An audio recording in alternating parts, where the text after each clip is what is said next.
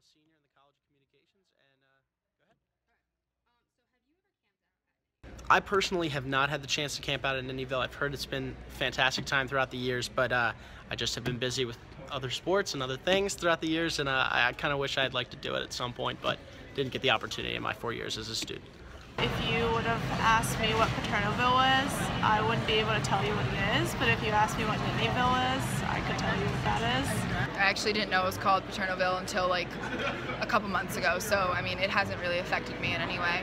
Joe Paterno isn't the coach anymore, and uh, I, I get it, but I don't think it was a necessary change. I mean, Paternoville w- was an established name that had carried a lot of weight for years to come, and uh, a lot of people appreciated Joe Paterno's time as a coach, and um, I didn't think it was the most uh, pertinent change that needed to happen at the time, but uh, it's what they went with. Let's put it that way.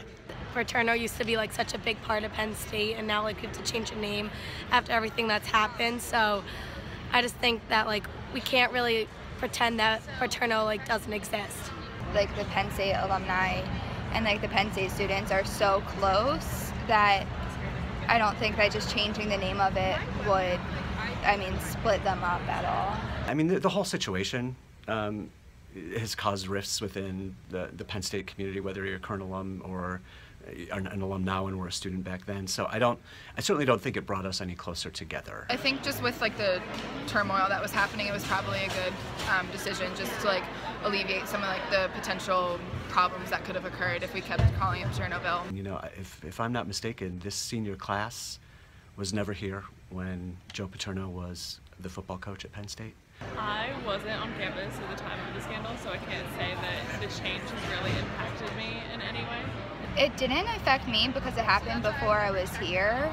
Uh, because since I've been here, it's always been Nittanyville.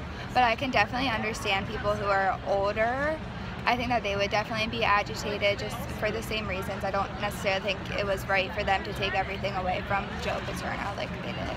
They experienced a different Penn State that we did, and they have more to a tie to Joe Paterno than we do, just because we were at the tail end of his career, so we didn't understand it the way that they did students who are current today, their experience is not much different, or if at all, than students who were here five or six years ago.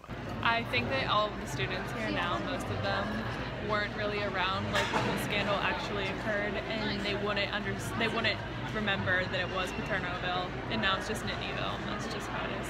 I think uh, Nittanyville is you know, it, it's more it's, it's more sustainable. I mean, we're Penn State Nittany Lions. I think we've been that for a long time. I think we're going to be that in the future. It's not to say that Joe Paterno is not going to be a part of our legacy for a long time, but I think um, I, I, really like the concept of going with who we are as a university, and I think. Uh, we're more than just Joe Paterno. It's kind of a new era of Penn State football. It's a new era of, uh, of Paternoville and Nittany, Nittanyville. It's um, you know, a lot of people associate Joe Paterno with the, the old style of, of Penn State football, and, and now with James Franklin and Bill O'Brien, since they've stepped in, it, it is a newer generation. It's a newer it's a newer cycle. So uh, I think yeah, I think it does divide a little bit of alumni and, and, and students right now. But I got to say, I mean, at the end of the day, it's still Penn State football, and I think we can all get behind that.